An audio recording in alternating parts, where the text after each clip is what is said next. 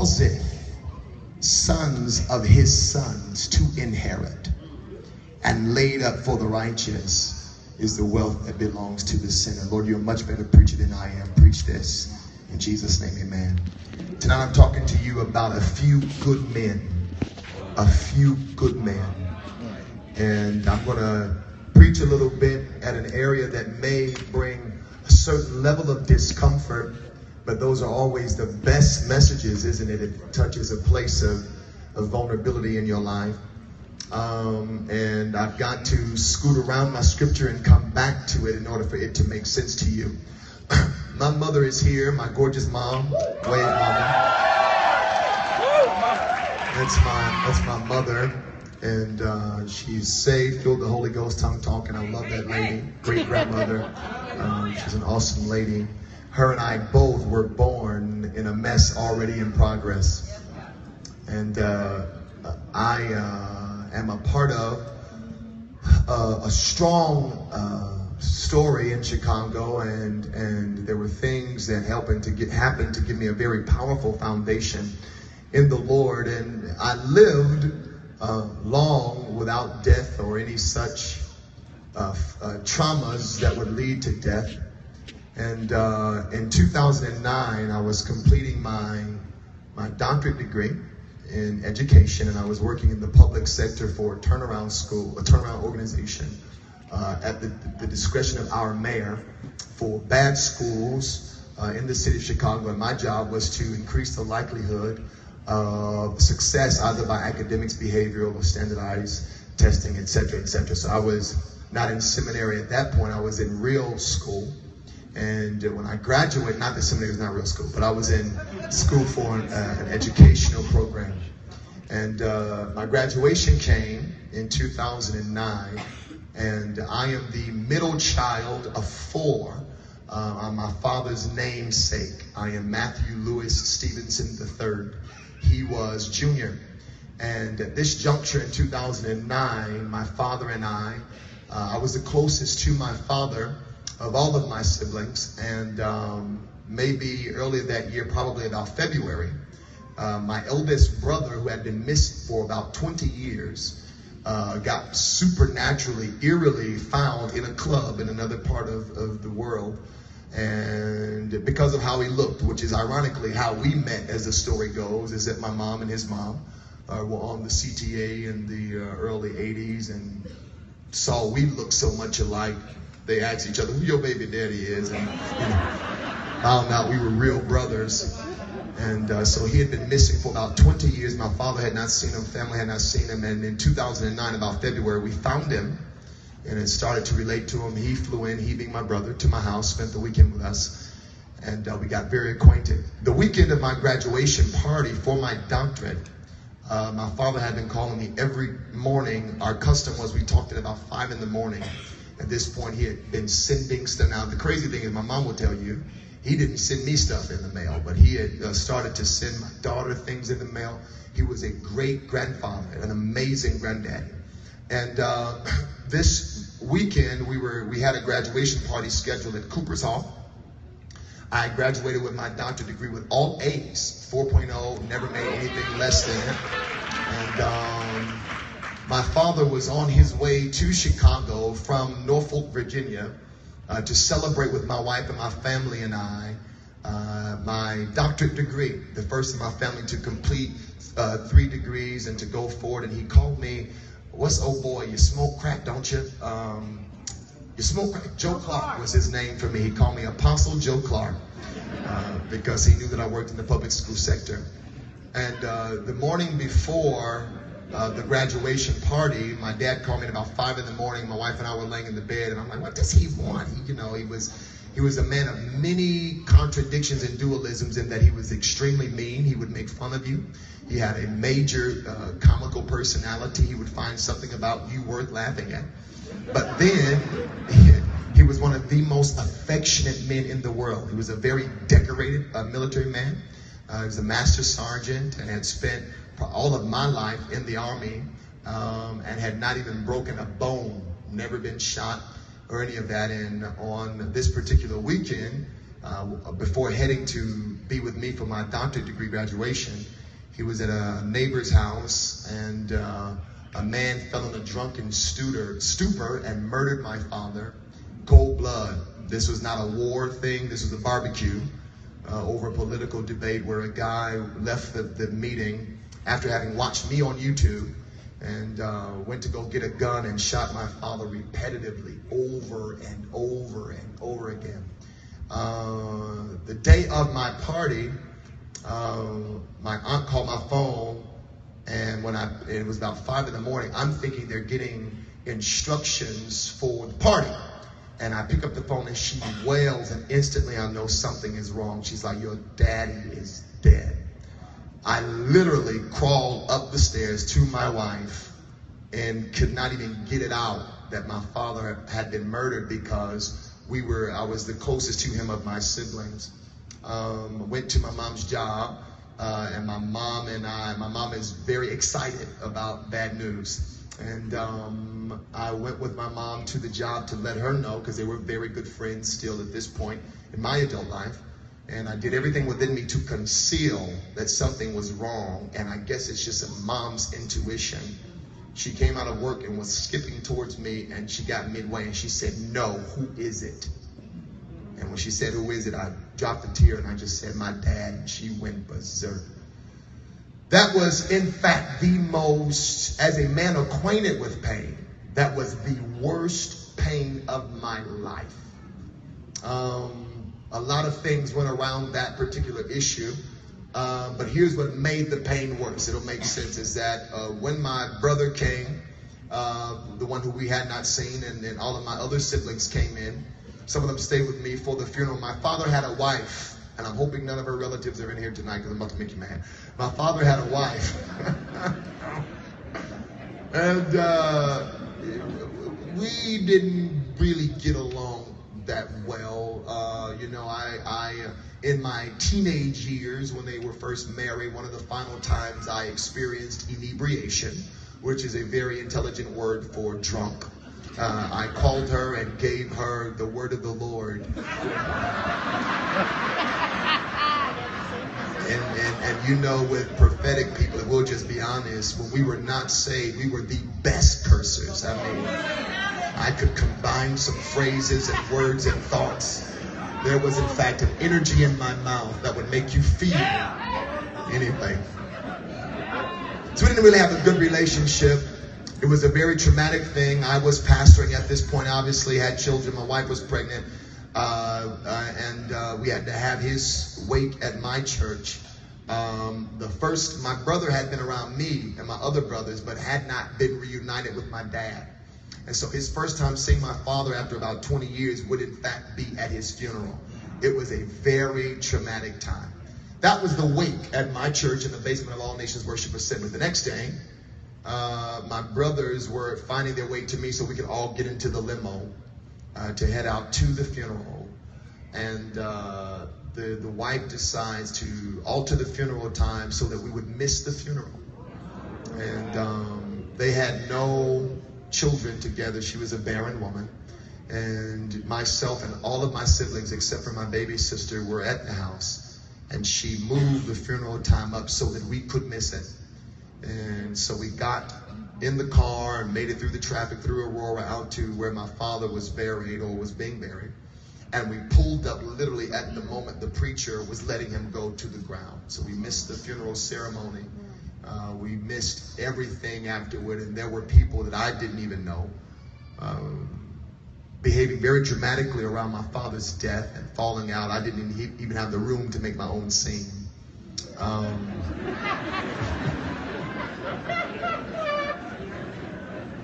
as a decorated war veteran, my father had three insurance policies totaling over $1.5 million. And um, his wife uh, called me one day and she said, you know, Buki, oh crap. I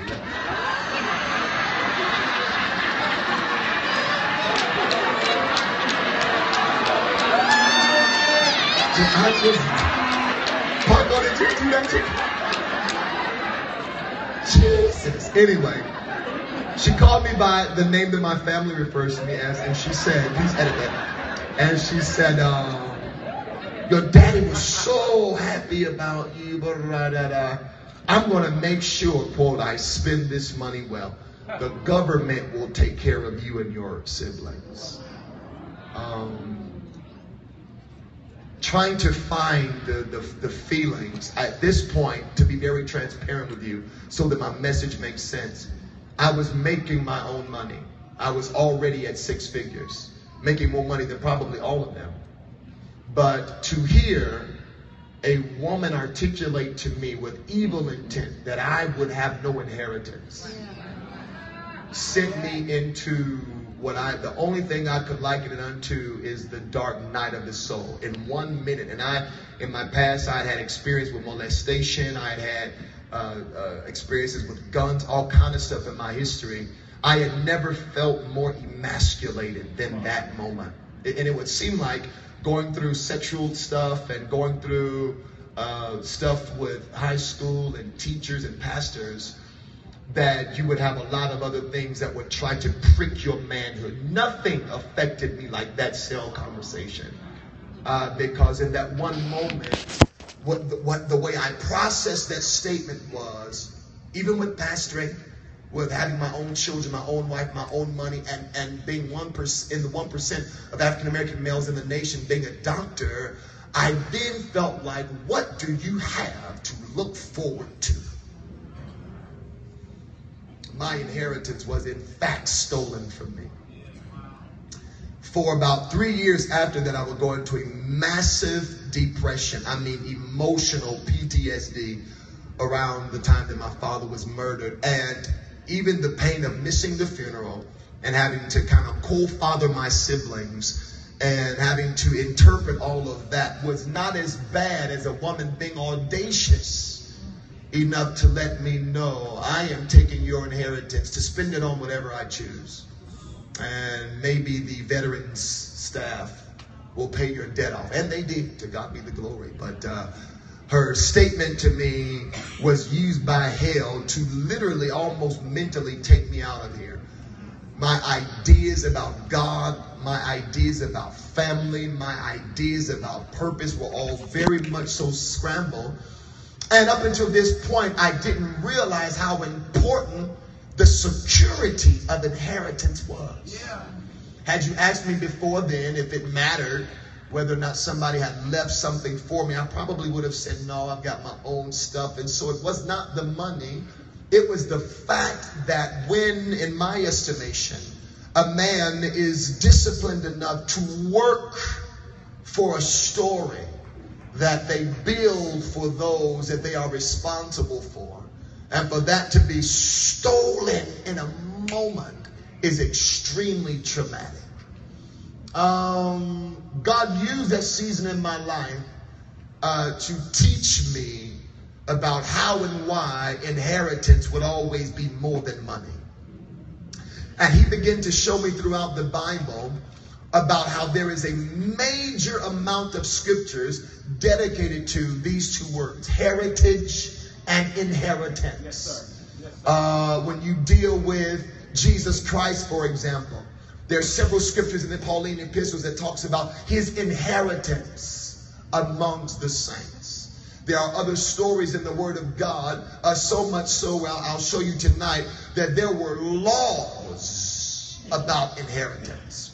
If I can just speak to you kind of prophetically, I think that one of the reasons why we need a fire conference and we need a gate network and we need a multipliers forum is because somewhere in our building and in our teaching and in our life coaching, we did not design inheritance. Things that people could look forward to. It almost became a matter of doing what you will, coming in where you fit in, and working hard for yourself. So we are in a season where nobody considers the subject of inheritance. And if you think about heritage, it has to do with your connections and your place in a story already in progress. So then, if you are an alienated, isolated, or excluded person from a broader body, the possibility of inheritance is impossible. Because in order to have inheritance, you've got to be connected. And your connection determines what your inheritance is. Does this make sense? Now, this scripture in Proverbs shows us that one of the vehicles that inheritance is experienced is by good men. Men who envelop or embody the goodness of God. And what they do is they make uh, uh, uh, inheritance possible for people who otherwise would be excluded from inheritance. It's so bad out here for churches, for leaders, for preachers that we have literally taken on the work of crafting our own inheritance and paying people to act like they did it. Go to Isaiah chapter 4, and this will explain our crisis further. In Isaiah chapter 4, verse 1, there is a very gruesome scripture that I think depicts what we're dealing with today with the subject of heritage and inheritance. And Isaiah 4 and 1 says this In that day, seven women will take hold of one man, those that create inheritance, saying, We will eat our own food, provide our own clothes, but only let us be called by your name to take away the shame of having been unmarried. So, th- this crisis is that there was a time where people were so desperate for validity and so desperate for legitimacy and so desperate to be given the right to be who God called them to be that they refer to their leaders, their overseers, their backbones. You don't have to do a work. I'll grow on my own. I'll study on my own. I'll deliver myself. Just give me preferred seating when you're in the room. Give me a label, a stamp, give me a logo, something to have a name because I don't have an inheritance. And this inheritance has made me vulnerable and susceptible to all kinds of issues as it relates to my future. If you're with me, say I'm with you. Now, this conversation deals with three things. The first one is the conversation of identity who you are. Because if that is in fact the most important thing you got on in the world is who you are. Satan is not more afraid of anything than your knowledge of and your relationship with who you are. And if you will be honest, all of your most gruesome attacks are not on your body. They are not on your money. They are not on your family. They are not on your sexuality. All of those come from the assault on your identity. If in fact Satan, glory to God, is able to persuade you that you are not who you are, then all of the other attacks are easy. But when you surrender your identity, you surrender your peace of mind, you surrender your standards, you surrender your security, you surrender your entitlements because all of it flows from who you are. Now, if you and I were at Starbucks right now, and if I asked you who you were, you would more than likely respond with what you do. Because we have been grafted to identify with what we do because the conversation about who we are is way too intimidating. And so because we've not had the power, the voice, the possibility, the grace to bring revelation on our identity, we gravitate to our ability because that ability makes us feel better about what we still don't know about ourselves. But if you look at the way it went with Jesus in this saga of inheritance and heritage, in Matthew chapter 4, God makes a, a public service announcement before he plants a church or ordains a leader or changes water to wine. God says, Behold, this is my son Glory to God. This one is my son. Before he heals a body, before he does anything good, I'm going to affirm him in who he is because y'all are going to attach to him based upon what he can do, but you're also going to betray him because of what he can do. So I'm going to lay a foundation in his future, not in his ability, but in his identity because ability will change. But if I settle who I made him to be in the earth, even the cross won't be able to rob him of who he is. The spear that the Roman soldiers would put up in his side wouldn't be able to change who he was. Matter of fact,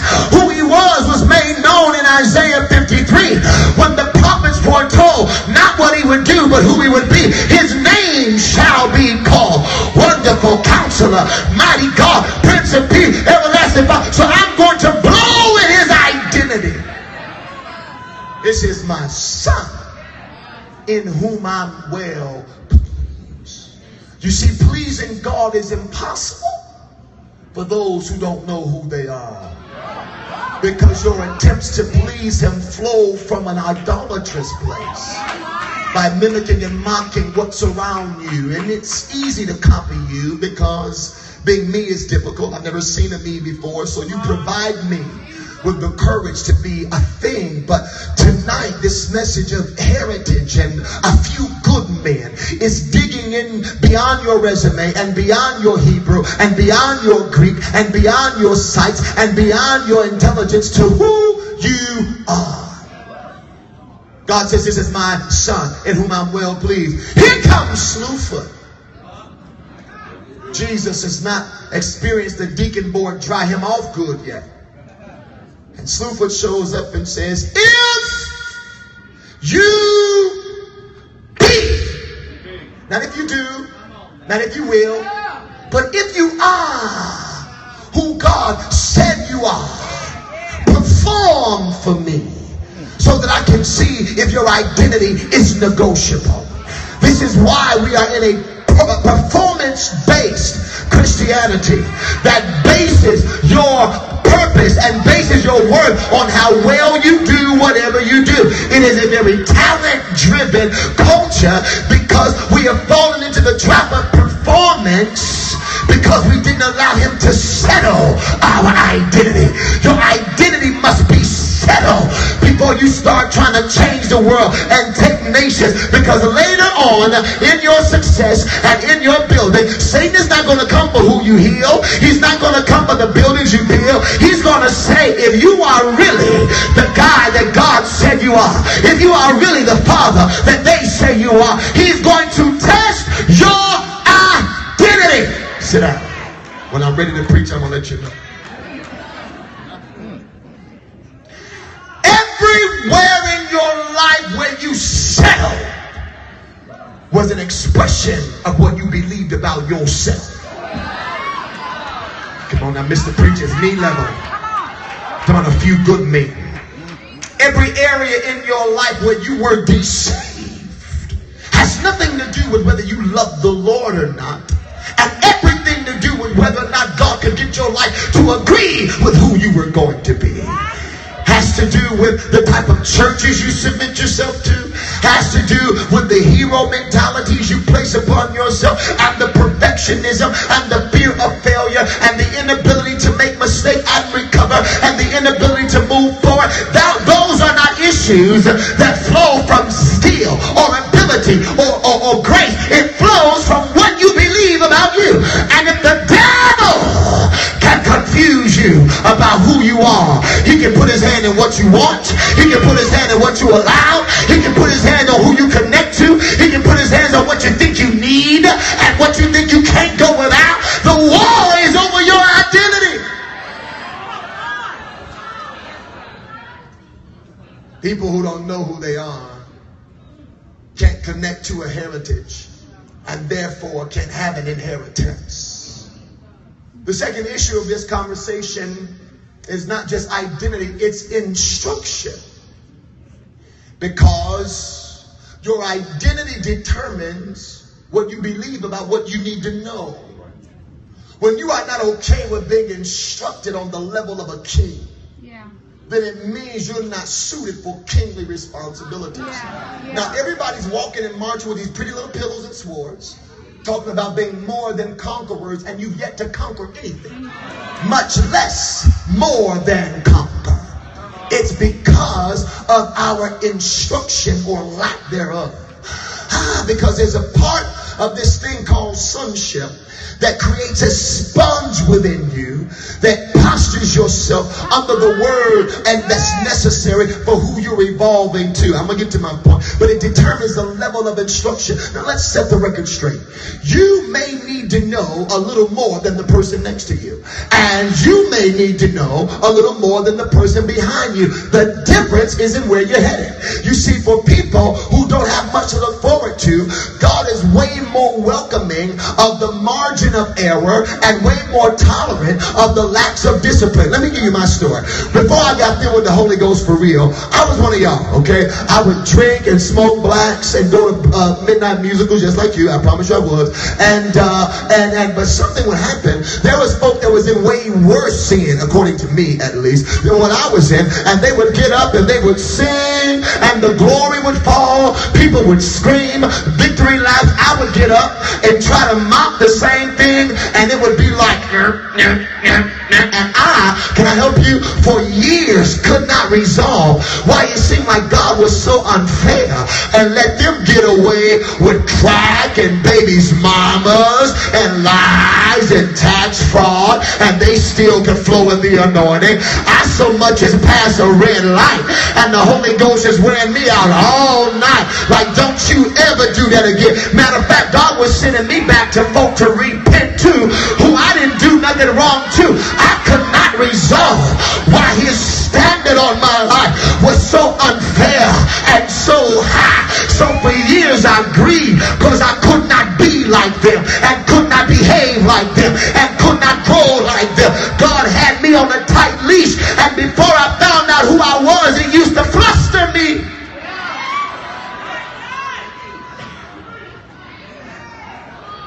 Used to irritate me. Why their test would last two days and the victory would come. My test would be whole years long and I would be like, God, give me on. I'm not saying, I'm talking to the person next to you. You're being fake right now. Anybody in here ever been like, God, why is this test so long? I know this is a trial, but what are you trying to prove? I'm doing the best I got. Anybody in here ever said, why me?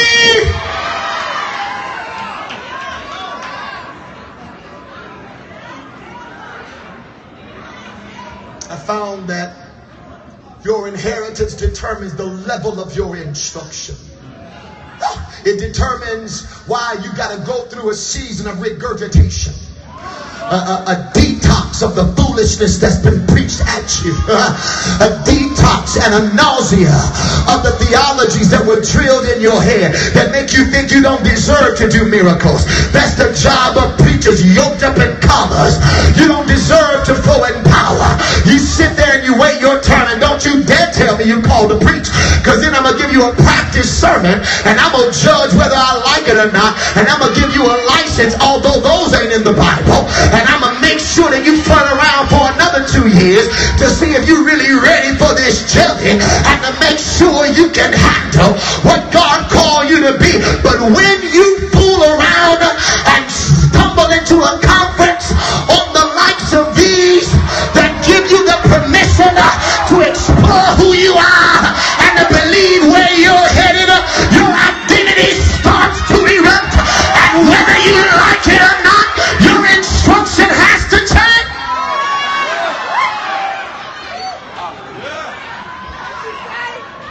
Who you are determines what you need to know, but who you are also determines what you want to know. I'm talking to people in there that's sitting in dead churches asking the wrong questions. You're sitting there like, why do we still have this sick and shut in list? Why is our only idea of deliverance people falling on the floor? I don't understand why the preacher's kids are the baddest in the church. You're sitting there all kind of uncomfortable. Like, am I in the right? I mean, is anybody ever going to prophesy?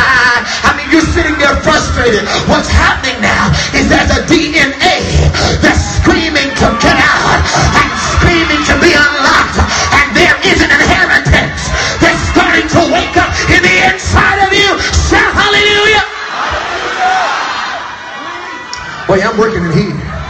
You know, DNA is one of those things you can't fake. It ends up telling on itself. So there, there's a time where your instruction level starts to change. You graduate in the revelation that you need, and it's based upon inheritance. Just track with me. So number one, we got identity. Number two, we got the level of instruction. But then we've got the thing, the ultimate objective of the whole point, which is inheritance.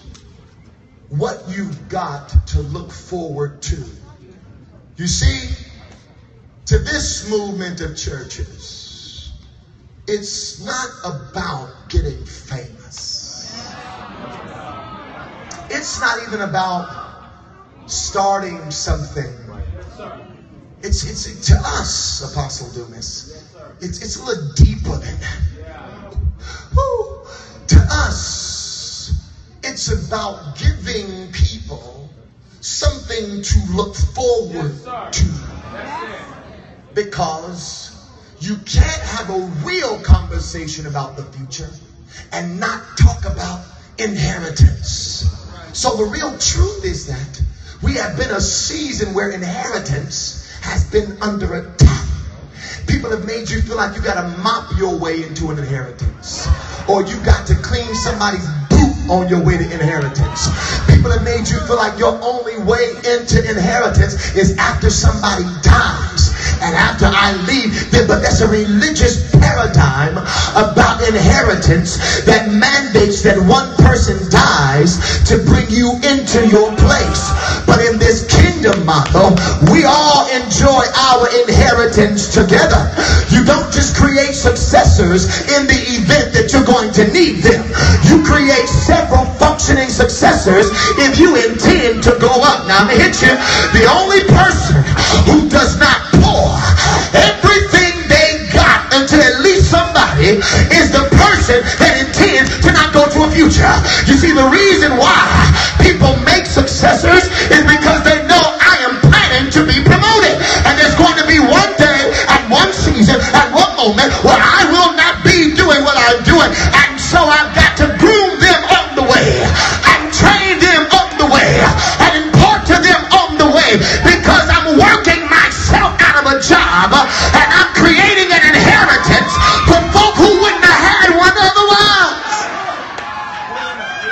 Somebody say an inheritance. I, Apostle Raleigh, have found to my horror, to my utter dismay and chagrin often that God has blew upon this network to gather the disenfranchised. I didn't know that's what was happening. I thought we were going to get a bunch of really refined, really well presented experience, but it seemed like year four or five, it wasn't just 26 year olds, it was going to 40 year olds, and then it started with 70. Uh, but there was there was something that joined all of us, no matter if we were from Kentucky or if we were from Baltimore, if we were from California, if we were from the west side, the south side, we were very different, but we were all very the same. You ready for this? In that we fell out of love with what existed. And something in us began to say, you know what, this is good, this church thing is amazing, but there has got to be, oh, you missed your cue. You see, I found out that God put that cry in everything assigned to this house. The praise break is wonderful, the tambourines are amazing. I love the choir, but there has got to I know that there are those that have experienced God deliver from And even with that deliverance, there has got. So we are a nation of discontent people. We are a breed of uncomfortable people. And we are attempting to love each other in our discomfort and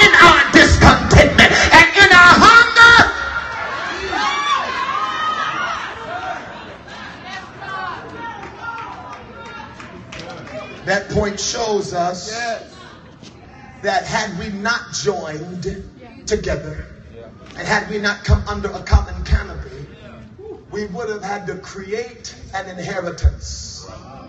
an outcome, something to look forward to on our own. But it was never God's plan for you to make your future up as you go along. I'm talking to you and your mama. It was never God's plan for you to play the process of elimination and flirt and experiment with where you were headed. He wanted your footing to be sure. Didn't want you dating with options and roads and ways and lifestyles and, and, and, and languages. There is a way that He's ordained for your life. The battle over inheritance is in the Old Testament. In the book of Numbers, chapter 20 and 7. And it's a story where this issue of inheritance got so out of control because it was culturally accepted that if you're going to live and exist, it is unto something being released to me. Because the, the, the, the, the, the thing you got to think about is whether or not you are a part of something that can release something to you. You'll get it tomorrow coffee. If you are under something that has the authority to license a release to your life and your future. In Numbers 27, this is one of my favorite. I need some women to help me with this one. There was a man, the descendant of Manasseh, uh, who was the son of Joseph, and and he died not in rebellion to God, but in his own sins. He was not judged. He just died. But this man did what all good men do. He worked to provide an inheritance, an outcome, something to release a place, a right to be. And this man died. But when he died, glory to God, he had no sons, or those that were originally intended to have the inheritance, they were not there. So this is where the spirit of adoption actually started. Because those that should have gotten it, you better hear me, those that should have gotten it moved and didn't get it. And so the inheritance still existed, even though there was nobody in place to receive. So one day a woman with an old ugly name, her name was Huldah, you know. Glory to God. My preacher's at my hip now. Huldah went up to Moses one day and said, Moses! Ugly mugly. Oh, Moses! I tried to be intelligent, but here comes an ignorant black man. Moses! My father died as a man in his own sin. And he was not in rebellion where the Lord burned against the people. And now the inheritance that he had is going to be left to public aid. Is all your God concerned about? Is that my daddy had no sons? I want you to go to your God and ask him if it's right that I have what should have went to them. I feel this. And the Bible says that Moses went to the holy place. And in every other instance, Moses had to make offerings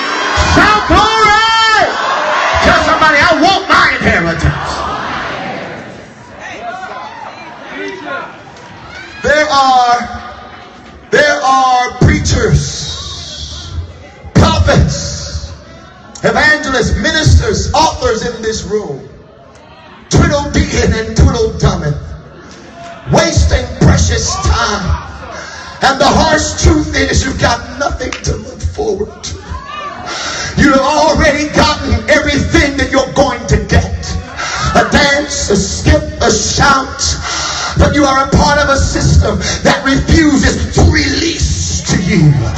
And if it helps you to feel better, Pookie, Ray Ray, Nisi, and Nene, you might be grieving unfairly because maybe the problem is not that these men and systems are withholding something for you. You ready?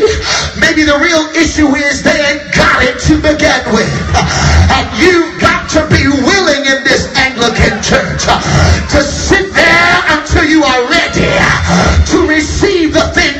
Jesus wants you to have. Because there is a thing bigger than deliverance. And there is a thing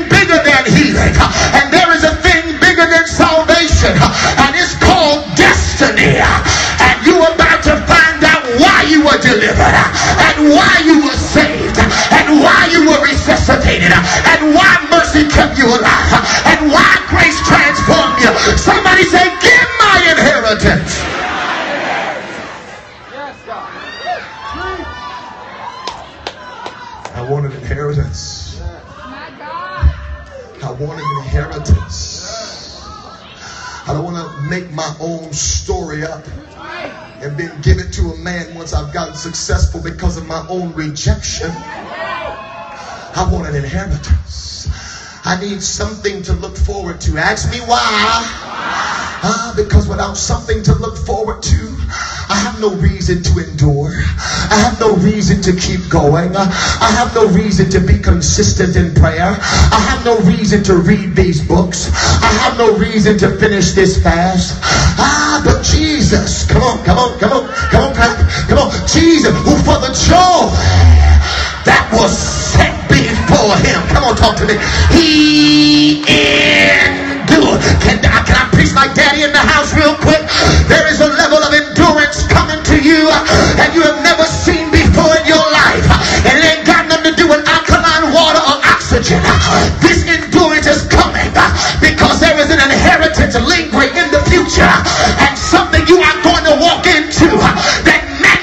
you keep going. That mandates that you not fail. That mandates that you don't stop.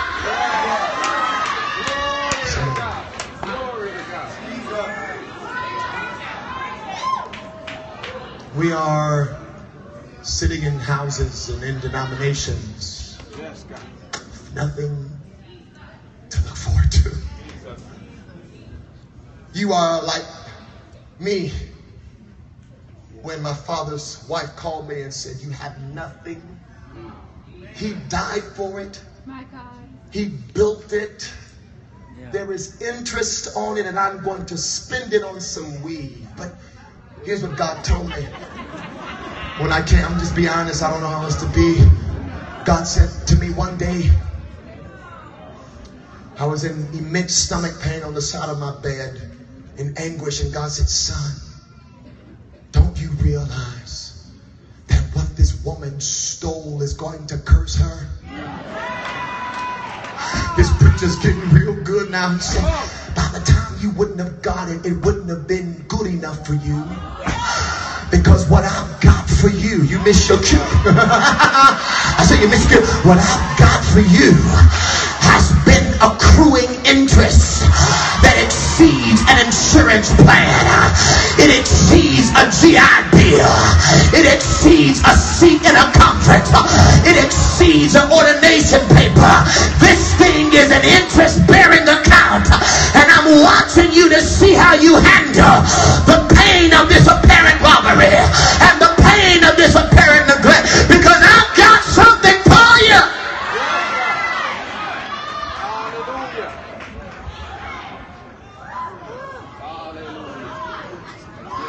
God is concerned, Elder Torrin, about how many of believers around the world are living life with no anticipation of inheritance. With the harsh truth that nobody thought enough about them, maybe not as an individual, but about their outcome to labor today to bring a possibility for someone tomorrow. They're preaching, teaching. Nobody's given us much to look forward to. Inheritance has the power to change your world. It can take you from a homeless virgin named Mary out of the ghettos of Nazareth to a woman who is favored among men. It can take you from a sex trafficked girl named Esther uh, who is escaped and who is snatched illegally and brought into the most prominent position in all of the kingdom.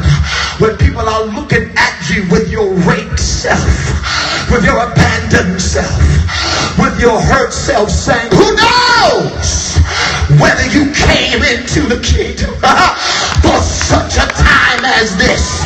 You see, because the truth about inheritance is that it is time sensitive. The Bible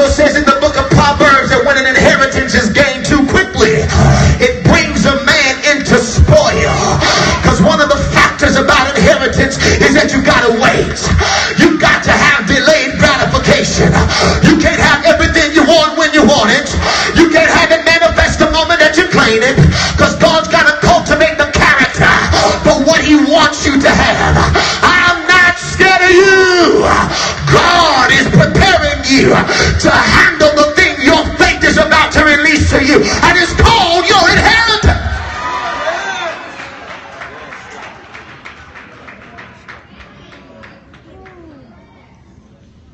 Imagine life, ministry, marriage without something to look forward to. Something tangible.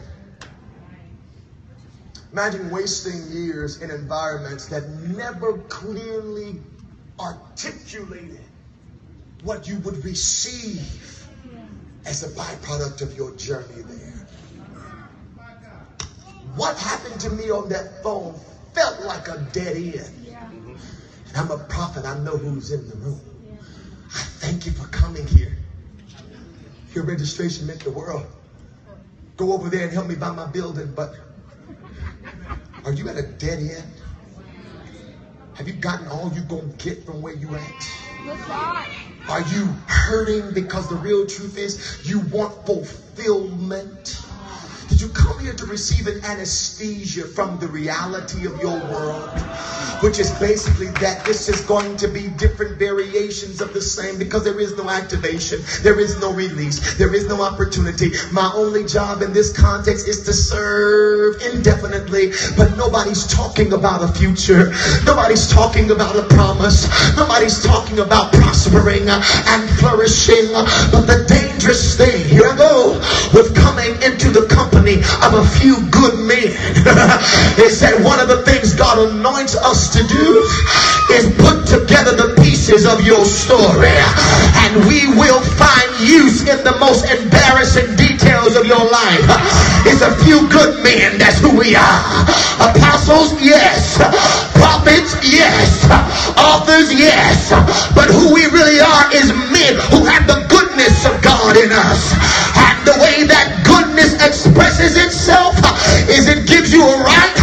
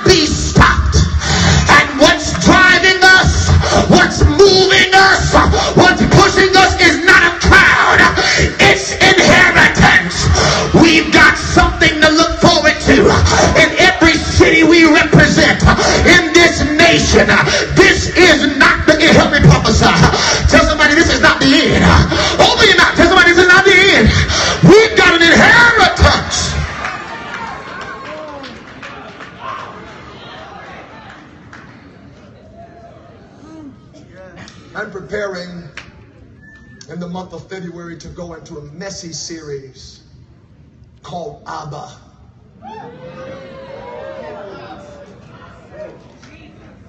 Studying the reasons God loves to be called Father. and examining the challenges we have in responding as sons.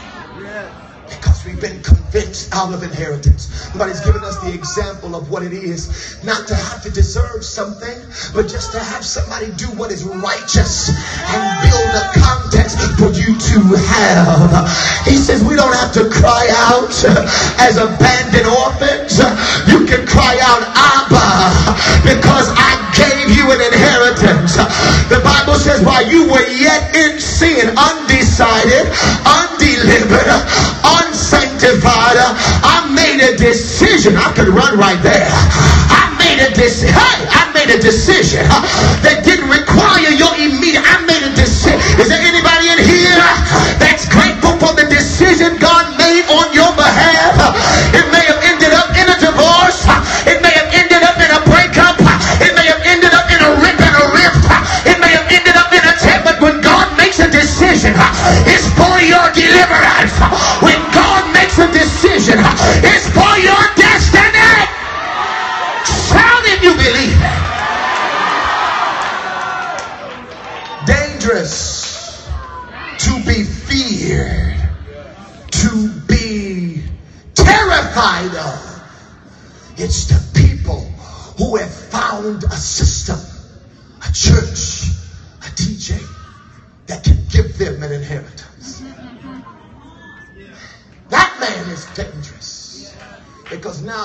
longer a vagabond, a tumbleweed running from denomination to denomination, city to city, and bed to bed, and meeting to meeting, looking for your fit. Now, the good news is you do not fit in everywhere, but you do fit in somewhere. And when you find your fit, look googly moogly. Said, when you find your fit, when you find your language, when you find your DNA, you will look around at them people and say, Where have you been all my life? I wish I would have had a fire conference 10 years ago. I wish I would have saw an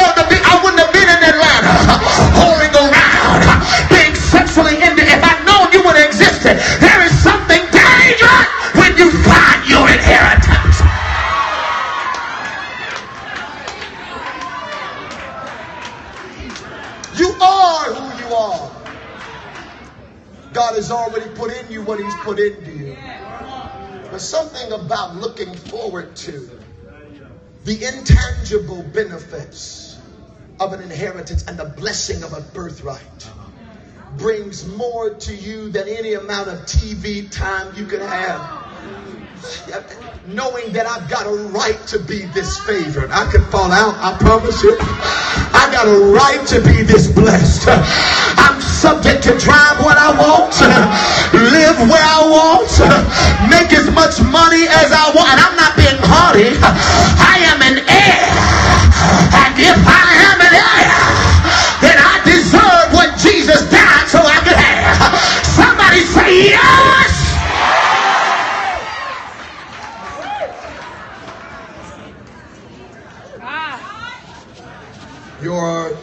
understanding, I'm almost done. Woo. Your understanding of inheritance will determine what people can do to you. I have a really, probably because my mama's a smart aleck. My daddy had an anointed case of jerk. And those were impartations I received a double portion of.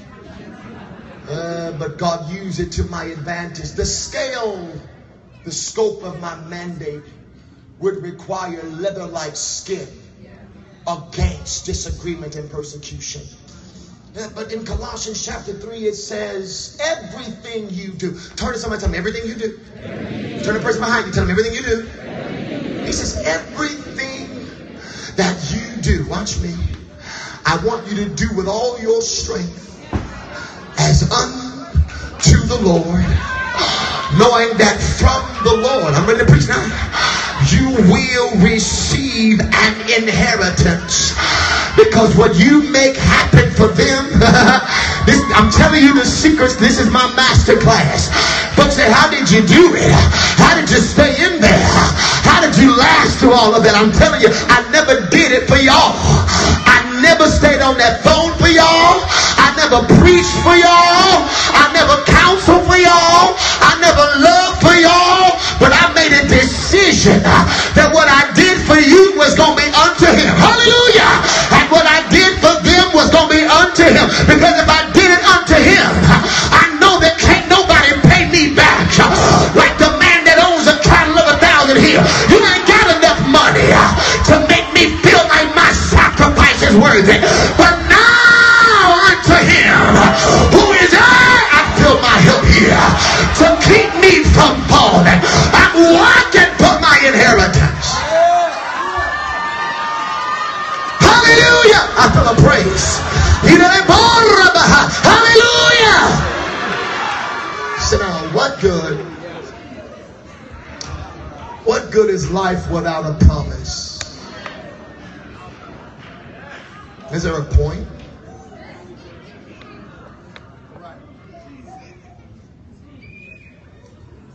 Good is a dream without a destination? What good is a focus without a landing point? When God starts doing dangerous stuff in your world and He wants to talk to you about what He's planned for you, He brings in your life a few good men. men who don't aspire to be the next thing. I'm really not as excited about me as y'all are. Which is why they'll always have to convince me to take it serious because I would rather stay low than become puffed up. I'm not going to allow you to make me a God. So I'll keep planning small and being surprised when he brings it out. But, but, but, but you got to realize when God sends a, a good man to you.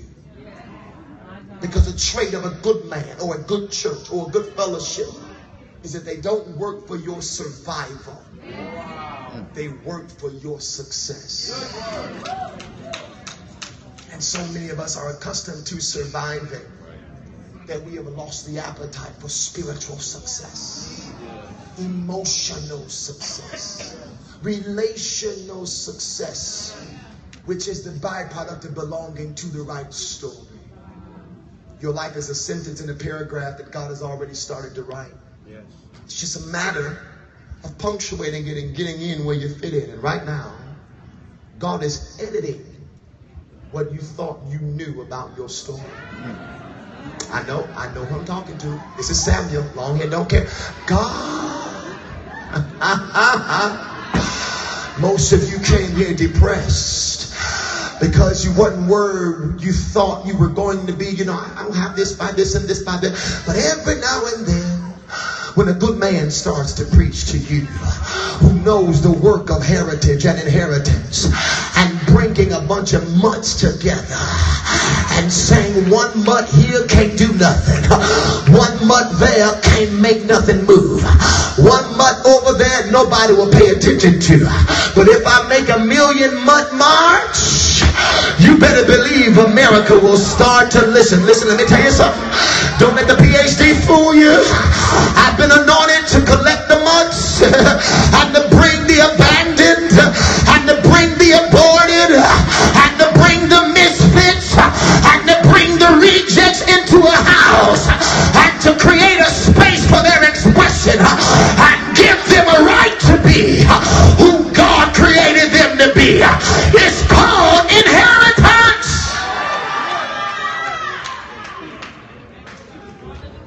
All of the things God made us to be, good men is one of them. And that's not nice men, it's good men. Because it's how God expresses goodness is by the power of adoption. Giving you access to what you couldn't have had access to had it not been for certain things. A good man leaves an inheritance for his children's children. I'm going to give you one last scripture, and I want you to blow the roof off of this place. I was looking at the numbers tonight, As the Holy Ghost started talking to me about had I fought in the flesh for an inheritance that, truth be told, I would have spent by now. Yeah. And allowed that thing to be the death of me. I would have missed this and beyond. Because I would have gotten content with cash. But I would have opted out of the crushing because I needed to feel what I felt. I needed to have those dark moments of I'm mad at you. Why did you take my daddy from me? I needed that it was unhealthy. It wasn't right. But God did not deliver me instantly because I needed to know what it is to be abased and to be abound and what it was to walk through the valley of the shadow of death. If you are in here right now and you feel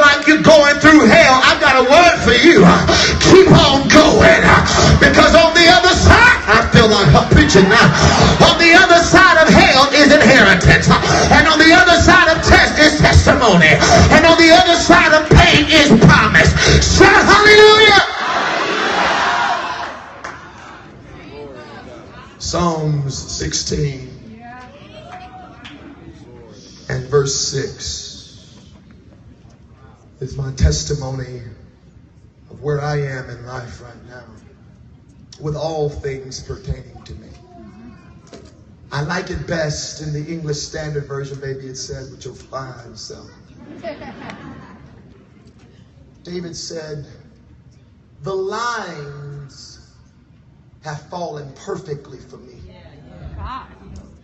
Indeed, I have a beautiful inheritance. He basically says, in retrospect, after having lost my son because of my adulterous affair, and having after been rejected by Jesse and Abinadab, and after having had my spiritual father, or who I thought was, come after me with daggers in my back, after having went through that, David says, I would not have traded yeah, any of that for the world.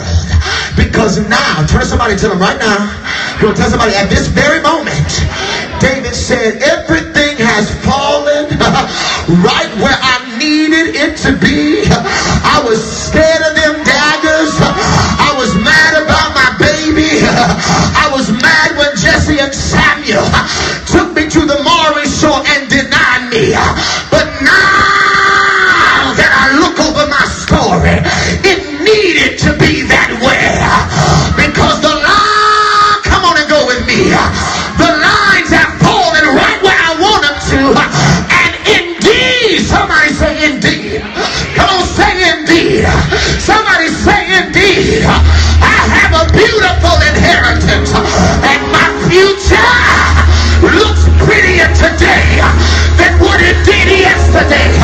My potential looks prettier today.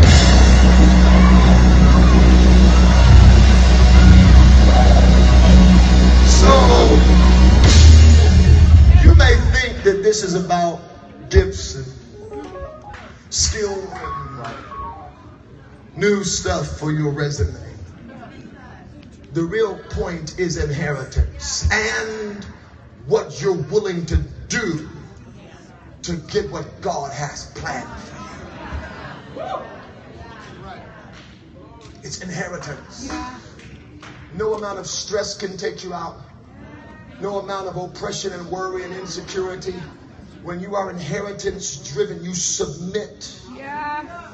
You keep going, you obey because of what you've got to look forward to. You know who rebels? People that have no revelation of the future. Because you know God can't give it to you illegally. That's right. But obedience is born Yeah. when men have the revelation of inheritance. And every now and then, God will align you with a word, a story, a people that make you make sense. Yes, sir. Is anybody in here that just didn't make sense? Yeah. Like you didn't make sense to you? I mean, but God has a way of joining strangers who can still make you make sense. There were people in that deliverance room today that didn't know each other and next to somebody who was throwing up and speaking first century Aramaic in a tenor voice. And yet it all made perfect sense. Because now you can explain the stuff that you were feeling should be. And you have seen in 3D. There were those of you that were in Prophetess Keisha's class who felt that prayer wheel turn in you for the first time for real. When you wanted to let go of that thing, it just would not retreat. It made you make sense. There were those of you in that healing class that didn't know it was that easy to heal. You were taught it had to be difficult and toilsome, and you had to grieve and groan and spit and laugh and foam. And this woman all the way from Georgia walks up on you and says, No, baby, it's as easy as one, two, three," made you make sense. This is the hour when God's gonna make you make sense. You're not weird. You're not strange. You're not even really different. You just ain't found your fit. But God's about to release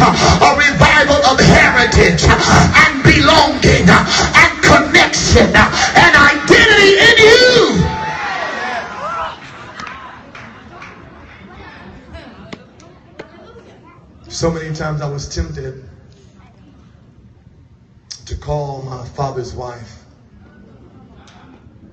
This time in a sober stupor. And asked my wife and children to leave the room so that I could express the sentiments of my heart. And asked the Holy Ghost to give me 30 minutes to set the record straight. That is straight. But the Lord restrained me. This battle is not yours. Stand still and see the salvation of the Lord. Because the enemy you see today, you will never,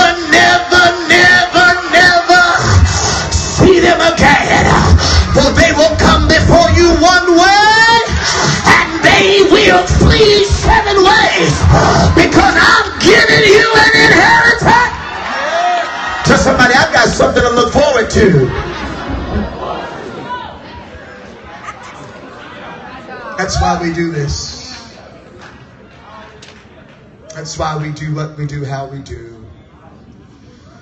We gotta give people something to look forward to. A good man God is about to raise up in this nation. A revival of good men. Men to whom God expresses goodness. I mean, when you think about the goodness of God, it's always in the context of what He made possible for you. Good men are those that release possibilities. You were a six member storefront church being faithful to your few. Anointed, but just hadn't got under the right oil. And something changed with how you saw yourself, how you saw your work. What you thought cursed you, you now see was a gift and an anointing that made you dangerous. What you see before you was not good looks and eloquence. It is the beginning of the manifestation of inheritance. One yes to God is like a thousand no's to the devil. And whatever the Lord is requiring of you to get to you like a conveyor belt out of heaven to earth, make up your mind. Yes.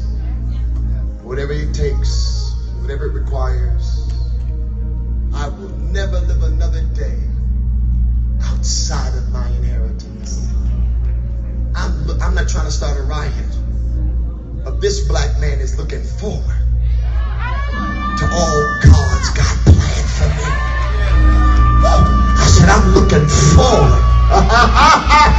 Come on, encourage your sister. Tell him I'm looking forward. Tell somebody I'm looking forward. Come on. Somebody on your row is hopeless. They've been disqualified. They think that they got to get it the hard way. But I heard God say, I'm about to give you impartation that's going to take the hard way out of your story. And what it took us 10 years to do, you're going to do it in 30 days. Tell somebody I'm looking forward.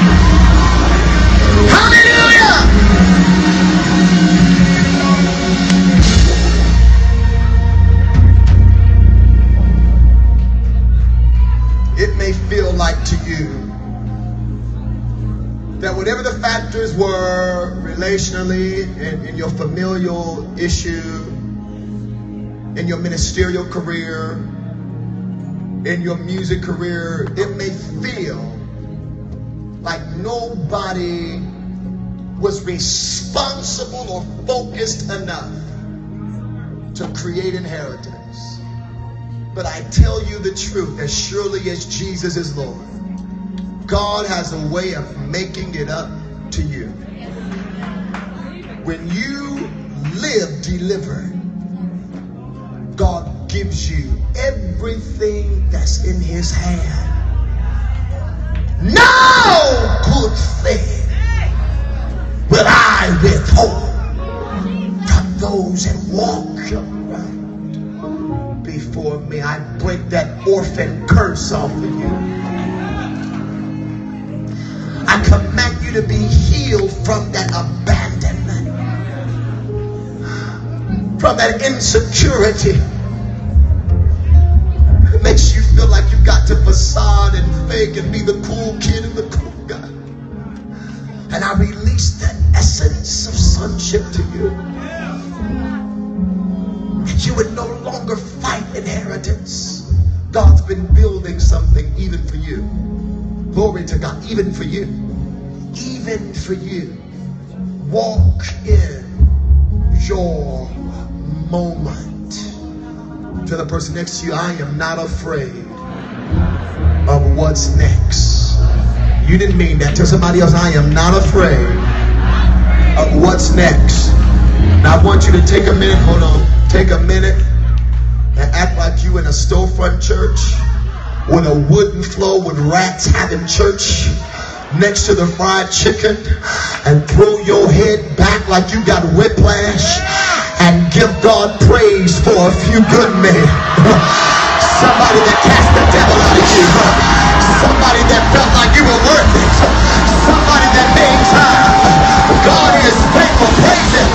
God is faithful. Holy Reese.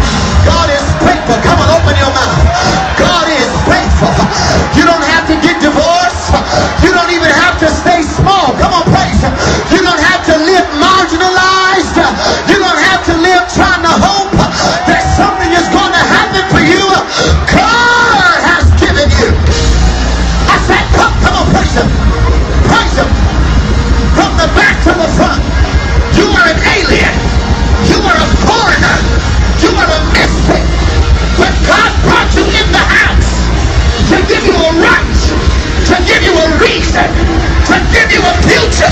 Shout hallelujah.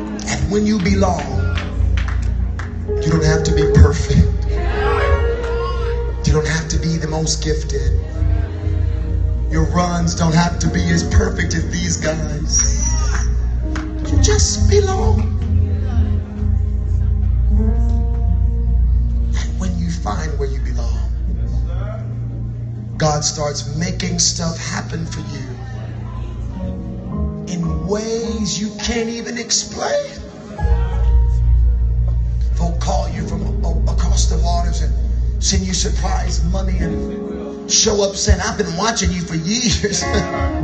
God has a way of making it work for you. If he can give you the courage to get where you belong.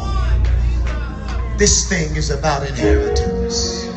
We have laid down our lives to open places and possibilities for people who otherwise would not have them. If you have ever been disqualified, ejected, rejected, excluded. Welcome to the rest of your life. There is room at the cross for you. And I made this appeal once. I'm going to make it one more again. If you come in, you better come now. There is room. Good God. I said there's room. Come on, church. God is